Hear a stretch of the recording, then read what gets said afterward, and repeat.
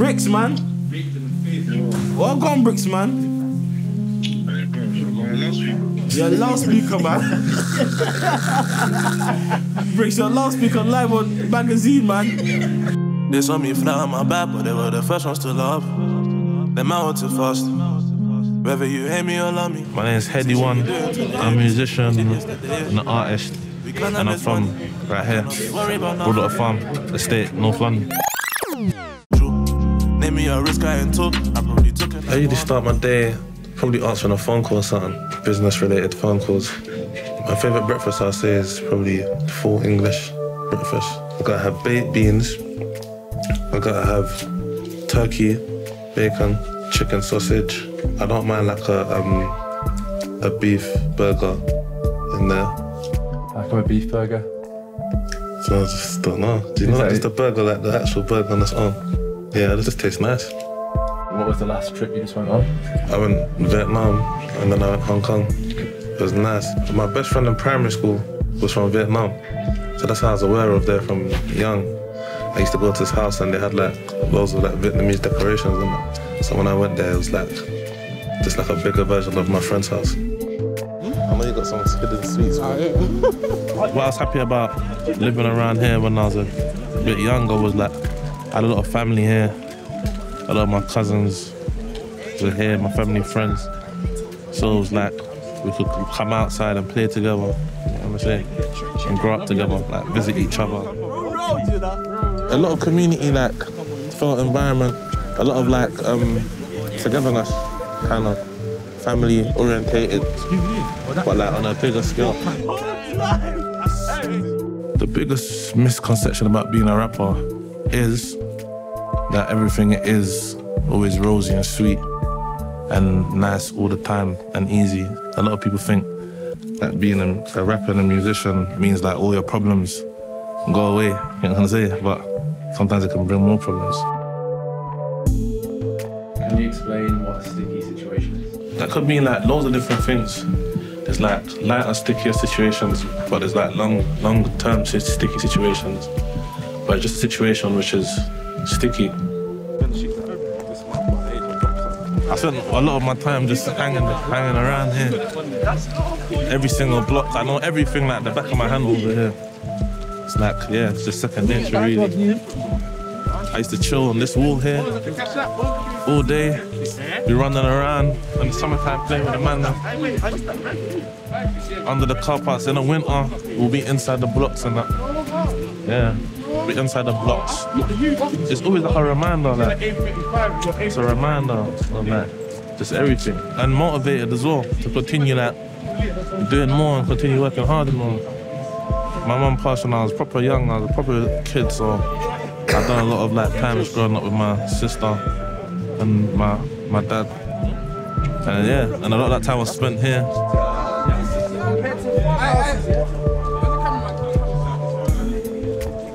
Some of um, my oldest friends, I've known them for over 10 years, 15 years. Yeah, and we're still locked in, still locked in as ever. Yeah. My favourite item in my wardrobe is my um, Louis Vuitton tracksuit that Virgil made for me for my Brits performance in 2021. I was obsessed with tracksuits when I was younger, so um, like to have a tracksuit made by Louis Vuitton and the Virgil just for me was like that's a surreal moment. Napoleon came out. He's Napoleon. He's saying some big names. You don't know Napoleon? Who, like, oh, Napoleon's some of them, one of them old school guys from back in the day. Trafalgar Square. I swear. Mm, he's just one of those guys, man. The Julius Caesar guys and that. Oh, is it? The old school guys.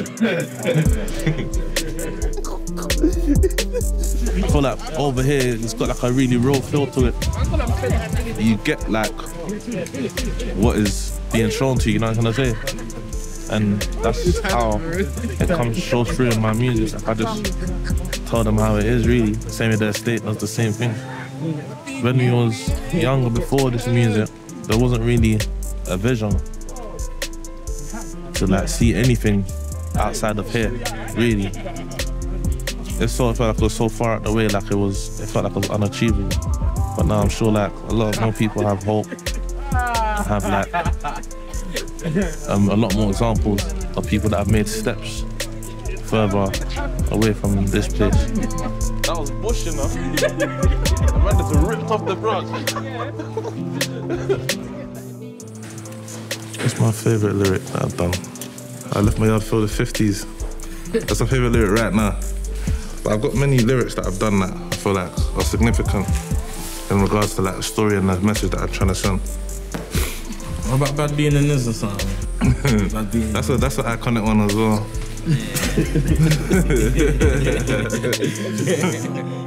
I pray that I ain't gonna end up on Martin Sofa. That's a good one as well. Because Martin Sofa is not a very wasn't a very happy place to be sitting on all the time. So it's like a reminder not to to avoid trying to go.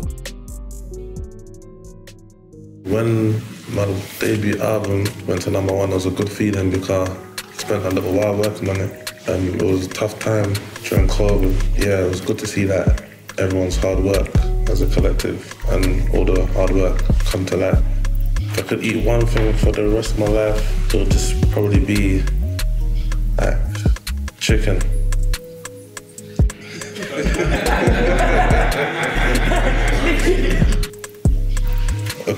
inspires me is um, thoughts turn to things because by thinking positive, you can change the way you behave and also a change in your thinking and your behavior also changes the results and outcomes of the things that's happening. The qualities I look for my friends are loyalty and um, yeah, that's the main one really, loyalty.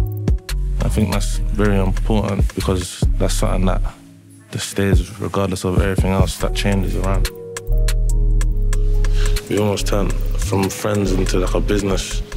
Literally, everyone's uh, doing what they can to add value to everything as a whole, as a team, and that's what friends should be doing, just supporting each other.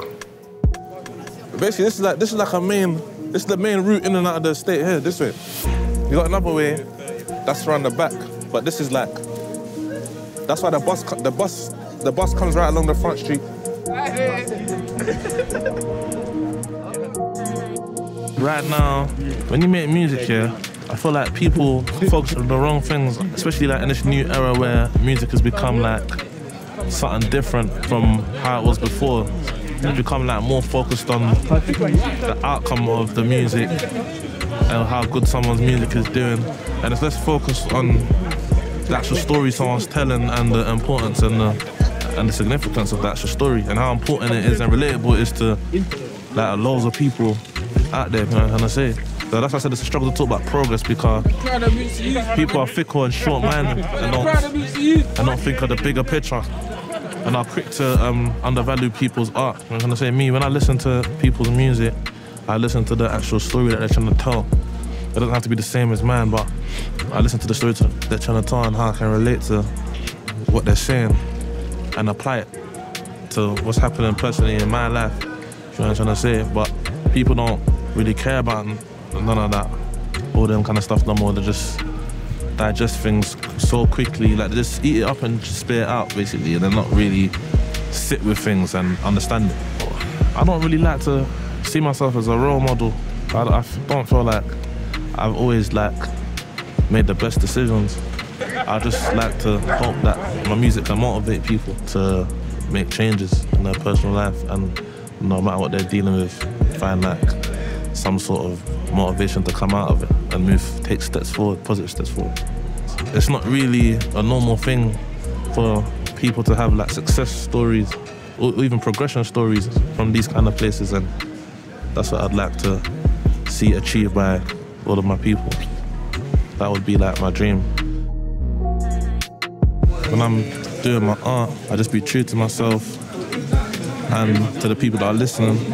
No matter how good or bad it is, I just say how it is really and then just try to overcome hurdles and also continue to tell the story as I do so.